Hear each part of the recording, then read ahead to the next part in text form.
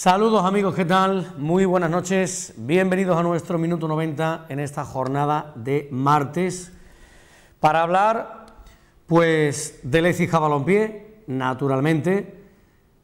Hoy escucharemos al abogado de AFE, Gonzalo de Medinilla, diciendo que todo lo de Gómez Mariscal durante el verano ha sido poco menos que palabrería, dice, es el vocablo, el término que utiliza, señala, ni hubo disposición ni voluntad de pagar durante todo el verano. Eso es lo que señala el abogado de AFE Gonzalo de Medinilla.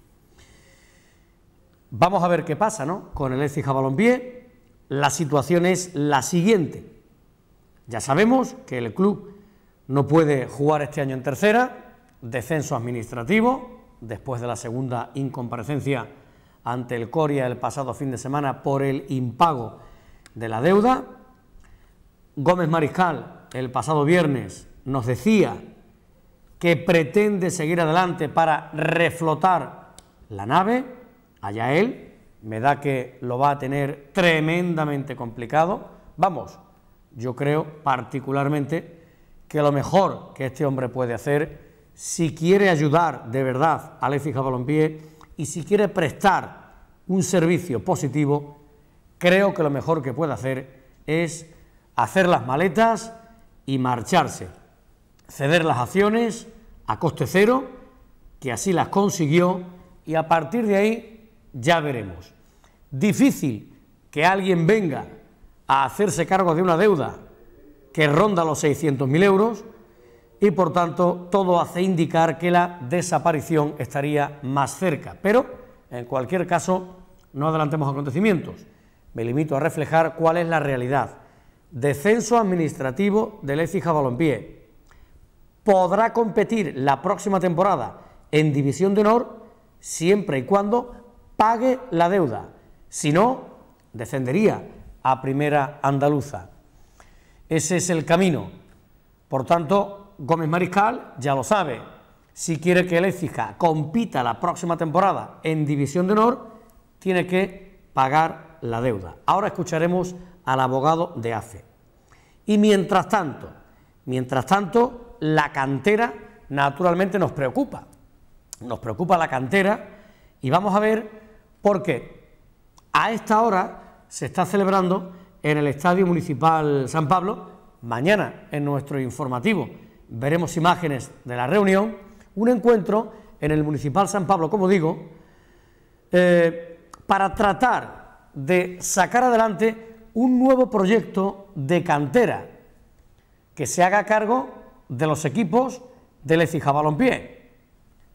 Alejo Núñez, varios ex futbolistas de la entidad, un grupo de empresarios, padres y madres, naturalmente, los que más, preocupados por la situación, y vamos a ver qué pasa con todo esto. La federación les ha dado el beneplácito, tienen unos días más para darle forma a toda la documentación, y vamos a ver si esto sale adelante, que tengo la sensación que puede salir adelante. De forma paralela, el Écija Club de Fútbol solicitó la semana pasada y ya cuenta desde hace días con el ok de la federación para inscribir tres equipos más en su cantera. Ante los acontecimientos del Écija Balompié, el presidente del Club de Fútbol, Gajete, Fernando Gajete, pidió a la federación su ok para inscribir un juvenil, un cadete y un infantil cuenta con ese ok, pero ya veremos en qué queda este asunto. O sea que ahora mismo el tema de la cantera, sinceramente, no está nada claro. Vamos a ver qué pasa, pero tengo la sensación que lo de Alejo con compañeros suyos, con empresarios, con padres y madres, tratando de darle forma al proyecto, puede salir adelante. Ya veremos en cualquier caso cómo se van desarrollando los acontecimientos en los próximos días, porque lo que tenga que ser va a ser ya. eh, el viernes, como muy tarde, es el plazo que ha dado la Federación Sevillana de Fútbol. En fin, que, vamos a ver, ¿no? Así está un poco el tema. A todo esto los socios del Éfica Balompié eh, tratan de recuperar, hay alguna fotografía por ahí que podemos ya recuperar, su dinero, después del dinero pagado para hacerse con un carnet del Éfica Balompié, se hicieron creo que unos 300 carnets, muchos de ellos eh, apalabrados, no pagados, tengo entendido, otros sí, prácticamente la mitad o más sí que pagaron los socios en su día, en estas últimas semanas, el carnet. Algunos ya han recuperado el dinero, pero otros fueron ayer al Municipal San Pablo a recuperar el dinero y se encontraron con las puertas del estadio cerradas a calicanto el Municipal San Pablo cerrado. Pudieron ver también un cartelito en el que se puede leer que se les va a devolver el dinero la próxima semana. Al parecer, eh, Ángel Gómez Mariscal, máximo accionista, está en su tierra, en Zaragoza, y regresará a Écija, eso parece ser la próxima semana. En fin, que al menos ayer no pudieron recuperar el dinero de los carnets. Vamos a escuchar a Gonzalo de Medinilla, abogado de la AFE. ¿Por qué? Pues porque durante todo este tiempo hemos escuchado a Gómez Mariscal, la versión del máximo accionista del Ecija Balompié. Ya sabéis cuál es la versión de Gómez Mariscal. Gómez Mariscal nos ha venido diciendo insistentemente durante las últimas semanas que había alcanzado un acuerdo para pagar 113.700 euros el día 5 de agosto, más un pago avalado de 60.000 euros para cobrar esa otra cantidad a mediados de este mes, y que también había alcanzado un acuerdo con Antonio Sainz, que era el delegado federativo para segunda vez y tercera de la AFE, para abonar 21.800 euros, tanto a mediados de noviembre como a mediados de enero ya de 2020. Y de esa forma pagar la totalidad de la deuda, que asciende, como todo el mundo sabe ya, a 217.000 euros. Aquella negociación se rompió. Se rompió fundamentalmente porque Gómez Mariscal no pagó. Él presuntamente siguió adelante con ese plan de trabajo hasta que el viernes 23 de agosto nos dice en rueda de prensa ayer, día 22, por fin la eh, documentación está en regla, por fin el Banco de España nos desbloquea el tema y estábamos en disposición ayer, 22 de agosto, de pagar 113.000 más 60.000. Pero hemos hablado con la AFE y la AFE, el señor de Medinilla nos dice que no, que tenemos que pagar la totalidad de la deuda. Y se hizo el sorprendido Gómez Mariscal. La realidad no es esa. La realidad es que no pagó el 5 de agosto y desde el 5 de agosto al 23 de agosto hay 18 días de por medio en los que no soluciona la papeleta y en los que él sabía a la perfección que la negociación estaba rota. Por más que lleve razón en una cuestión, y es que la AFE no le comunicó vía burofax o vía correo electrónico que la negociación estaba rota. Eso es lo que sostiene Gómez Mariscal. Sin embargo, AFE dice que sí que se le envió en su momento toda la documentación necesaria, a cuánto ascendía la deuda, cómo tendría que pagarla, en qué número de cuenta efectuar la transferencia, en fin, todos los pormenores. Aquí hay dos versiones diametralmente opuestas. Una, la de Gómez Mariscal, otra, la de AFE, con una verdad irrefutable. Y es que Gómez Mariscal no ha pagado. No ha pagado. Y como no ha pagado, estamos en descenso administrativo y abocados a la desaparición. Ojalá que nos equivoquemos y que el Écija Balompié, la marca, que es muy importante, pueda tener viabilidad y pueda tener futuro. Desde luego, con Gómez Mariscal al frente, me da que va a ser bastante complicado. Total, corte número uno, Gonzalo de Medinilla, abogado de la AFE, en torno a todo lo que tiene que ver con el traslado al club de la documentación necesaria para que pudiera pagar la deuda. Dice Gonzalo de Medinilla lo siguiente. Hay un procedimiento dentro del reglamento de la Federación Española que se llama la Comisión Mixta. Ahí es donde los jugadores pueden realizar sus, denuncias. Se verifica eh, esa denuncia dándole traslado al club de todos los documentos acreditativos del pago. Eh, el club no hizo ningún tipo de alegación al respecto y se le comunicó debidamente por parte de la federación una resolución debidamente desglosada por cada uno de los jugadores con la cantidad denunciada y con la cantidad aprobada, así con el número de cuentas donde sabía que tenía que hacer el ingreso de, de la deuda completamente verificada, con lo cual es completamente incierto, lo sabía de primera mano y además lo hablo conmigo por teléfono, o sea que él lo sabía. O sea, a ese respecto, el documento que él dice que le teníamos que certificar desde AFE, él lo tenía desde ahora un mes más o menos. Las palabras del abogado de la AFE. Atención, este corte no tiene desperdicio. Dice, ni hubo ingreso, que ya lo sabemos, ni pagaré, ni talón conformado. No hubo nada. No hubo, dice, ni voluntad de pagar ni disposición para hacerlo. Y ojo porque califica todo lo que tiene que ver con Gómez Mariscal de palabrería durante este verano. Escuchamos al abogado de AFE. Ni ha habido ingreso de cantidades, ni ha habido pagares avalados, ni ha habido disposición por parte del señor Mariscal en en, arreglar eh, los acuerdos y la, última llamada que yo he recibido una vez que yo me hago cargo de, del asunto al 100%, pues bueno, era únicamente palabrería. Al final no había no había ningún tipo de, disposición ni de voluntad por, por saldar la deuda, ni total ni parcial. Al final todo todo queda en, en una simple palabrería.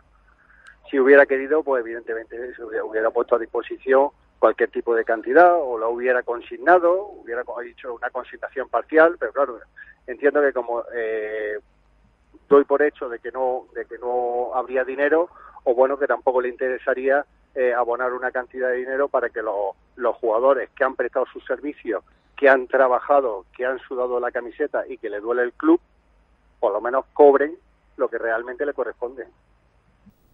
Vamos con un tercer corte, porque también le preguntábamos por lo ocurrido el viernes. El viernes, cabe recordar que entrevistábamos por la tarde a Ángel Gómez Mariscal. Voy a recordar rápidamente lo que dijo Gómez Mariscal el viernes, entrevista que nos concedía a eso de las cinco y media, seis de la tarde, ya hacía dos horas y media o tres horas que el Écija estaba descendido administrativamente y él seguía sosteniendo que lo había intentado, que durante toda la noche del jueves 29 y durante toda la mañana del viernes 30 trató de alcanzar un acuerdo, pero que no fue posible. Esto dijo Gómez Mariscal. Bueno, yo desde ayer por la tarde a última hora hasta pedí reunirme a las 10 de la noche, a las 11, a las 12, a la 1, a la hora que fuera. Y hoy desde las 8 y media de la mañana estamos en contacto con jugadores, con AFE, y en todo momento han dicho que era o la totalidad o nada. Hemos intentado, hemos ofrecido 100.000 euros y retirada de la denuncia, eh, yo no sabía más que ofrecer. Entonces, en todo momento nos han dicho que no, que no y que no, y que era la totalidad. Y aparte que había jugadores que aunque eso no iban a retirar la denuncia. La respuesta del abogado de AFE es que el viernes por la mañana, en efecto, le llama el máximo accionista del Ética Balompié pero todo muy vago, dice Gonzalo de Medinilla, todo muy indeterminado. Le escuchamos. El viernes pasado se puso en contacto conmigo nuevamente eh, para volver a, a, mantener su postura, eh, o bueno, de que quería hacer un ingreso o dar un aval conformado, pero todo muy indeterminado. Eh, yo lo único que le dije es que la norma le exige, eh, llegado el plazo, eh, el último día del plazo, hacer una transferencia vía Banco España para el desbloqueo de los derechos federativos y que evidentemente los jugadores quieren cobrar el dinero que se le adeuda por la prestación de sus servicios. Las palabras del abogado. Había que preguntarle también por la denuncia de Gómez Mariscal a la plantilla del año pasado. Y dice el abogado de AFE que la denuncia es muy indeterminada, que no habla de cuestiones concretas de tal jugador que presuntamente se ha podido llevar más de lo que le corresponde en tal concepto o en el otro. No, no, dice todo muy indeterminado y señala que los jugadores de Lecija no tienen, los ex jugadores de Lecija no tienen responsabilidad alguna. Lo único eh, que la denuncia es indeterminada, no, no va dirigida eh, contra los jugadores. Eh, mm, a mi a mi entender en derecho penal, que yo soy más abogado laboralista, es indeterminada porque no se centra en ningún jugador en concreto, eh, se centra en una serie de circunstancias eh, que yo, bueno, en este momento desconozco, porque desconozco, y lo único que sí sé es que los jugadores no tienen responsabilidad alguna. Y por último, Gonzalo de Medinilla habla sobre ese comunicado lanzado por la plantilla eh, de jugadores del Ética Balompié de la pasada campaña, comunicado que podíamos ver ayer en el informativo, un comunicado en el que expresaban, en primer lugar, su tristeza por el desenlace de todo esto y dicen, no hemos reclamado más que lo nuestro, que lo estipulado en los contratos. Bueno, pues no opina así. Gómez Mariscal, que ha llegado a comentar que el global que el global de lo que se han embolsado los jugadores la pasada campaña del Écija Balompié en conceptos pagados por el club y que luego, según él, han vuelto a reclamar, ascendería a unos 38.000 euros. Ya veremos qué desarrollo tiene, qué camino toma esa denuncia de Gómez Mariscal. Los jugadores en un comunicado han dicho nosotros hemos dado facilidades, nos duele lo ocurrido, pero nuestro derecho es el de cobrar y velar por nuestros intereses y el de nuestras familias. Pues sobre este comunicado, sobre el papel de los futbolistas y de la AFE en todo esto, ha dicho lo siguiente para concluir el abogado Gonzalo de Medinilla. Mi AFE ha sido inflexible, que AFE siempre es muy, muy, muy flexible con todos los clubes porque amamos el mundo del fútbol, porque nos gusta el fútbol. Eh, los jugadores eh, tienen que cobrar por, por, por, su trabajo, como cualquier trabajador aquí, aquí en España. Ellos han puesto eh, todo su esfuerzo en poder solucionar este asunto y me consta que les duele muchísimo la situación por el club, porque les duele muchísimo por el club pero evidentemente viendo la postura de, esta persona pues eh, ha sido completamente inviable. Hasta ahí las palabras del abogado de AFE. En fin, la versión de Gómez Mariscal ya la hemos escuchado varias veces durante estas últimas semanas.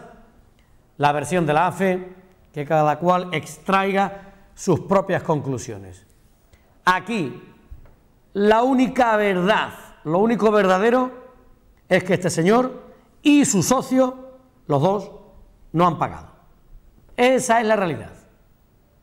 Ellos no han generado la deuda. Eso está claro. La deuda la generó Jungon Park. Por tanto, él no es el culpable de la deuda, Gómez Mariscal. Pero hombre, ha tenido dos meses por delante. Aterrizó aquí a finales de junio. Se presentó ante la opinión pública el día 20 en una rueda de prensa. ¿Qué ha hecho desde entonces? Según él, tratar de salvar el club. No lo ha logrado. No ha puesto un duro. No ha pagado la deuda. Tiempo ha tenido. Y sinceramente, uno no sabe qué pensar, sobre todo observando lo ocurrido durante las dos, tres últimas semanas, durante todo el mes de agosto. Pero, ¿cómo puede ser que nos venda una y otra vez que su socio está en Madrid tratando de desbloquear el asunto todo el santo día en el Banco de España, ese señor, presuntamente, claro, Javier Blasco, no se lo cree nadie, no se lo cree nadie.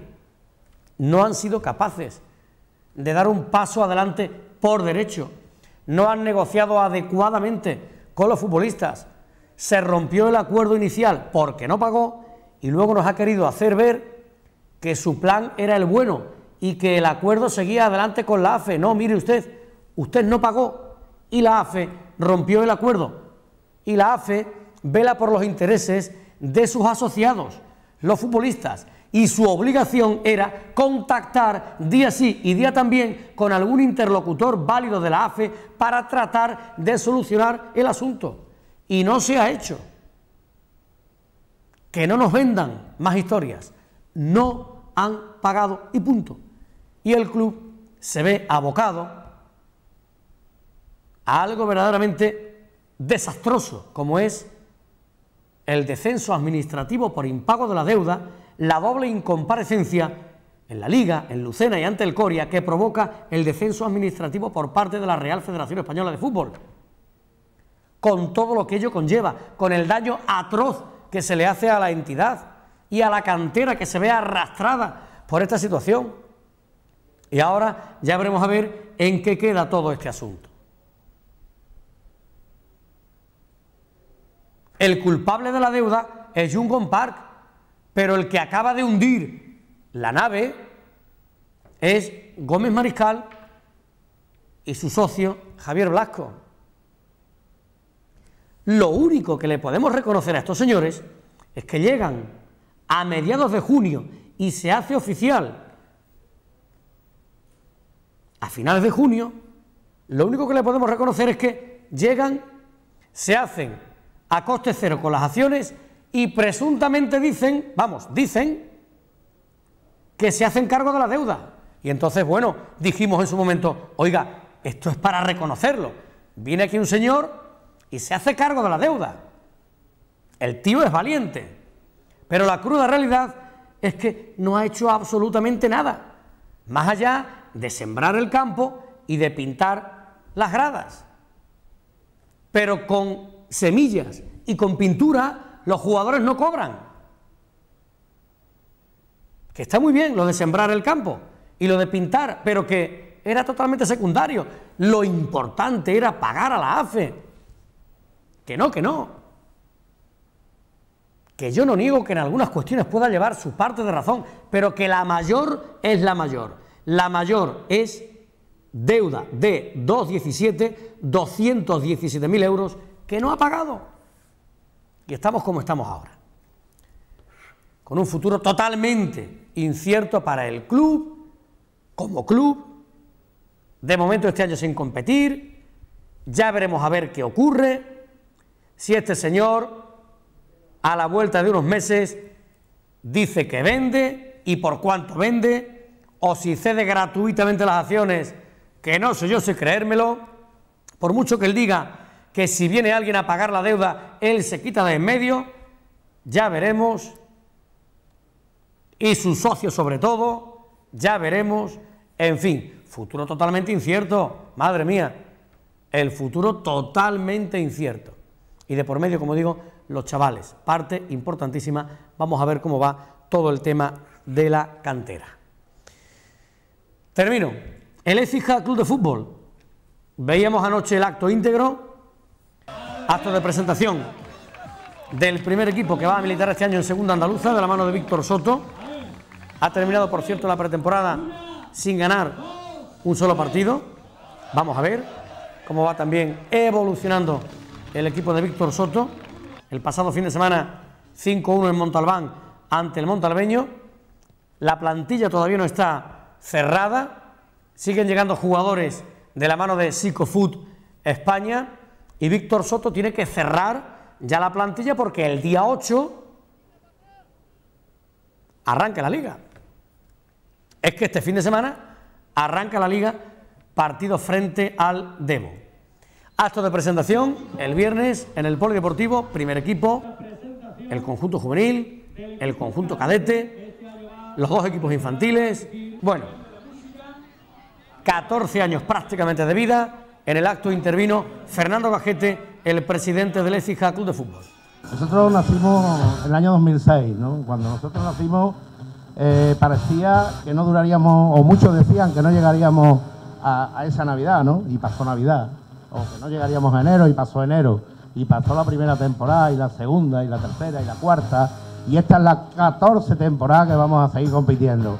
Nosotros estamos tremendamente contentos porque, eh, como han dicho los capitanes de la primera plantilla, a ver si nos dan la alegría del ascenso, pero a mí ya me han dado la alegría de tener aquí cinco equipos, cinco equipos con entrenadores, con preparadores físicos, con delegados, con personas que prácticamente no cobran, que nos ayudan y que hacen posible una realidad que es el ESIGA Club de Fútbol. Le quiero dar las gracias a todos ellos, porque sin vosotros no sería posible que estuviera yo aquí, ni que estuviéramos ninguno aquí. Y os quiero dar a vosotros las gracias a los padres. Sin los padres, vuestro esfuerzo, vuestra ayuda, el club tampoco sería posible. Espero que este año sea un gran año, que nos permita crecer aún más y que cada día el nombre de la Club de Fútbol y de la ciudad de Elcia sea más grande. Las palabras de Fernando Gajete, el presidente del Ecija Club de Fútbol, para poner punto y final a nuestro programa en la noche de hoy. ¿Cómo está el tema? Madre mía, ahora mismo, ahora mismo, lo más urgente, lo prioritario es darle forma a la cantera. Que esos niños no se queden sin jugar. Gajete pidió a la federación inscribir tres equipos más. La federación le dijo, adelante. Paralelamente, padres y madres, José Luis Rainz, empresarios, ex futbolistas de a la cabeza Alejo Núñez, tratan de darle forma al proyecto. Ya veremos cómo va todo. Lo importante, que los críos no se queden sin jugar. Quedan unos días de por medio y yo creo que esto podrá salir adelante y que eh, estos chavales seguirán jugando al fútbol. Eso es ahora lo más prioritario. Luego ya se verá qué ocurre con el EFIJA Balompié esa deuda que arrastra Gómez Mariscal, etcétera, etcétera, etcétera. Nos marchamos el viernes más, aquí en nuestro Minuto 90. A todos un cordial saludo, gracias por la atención prestada. Buenas noches.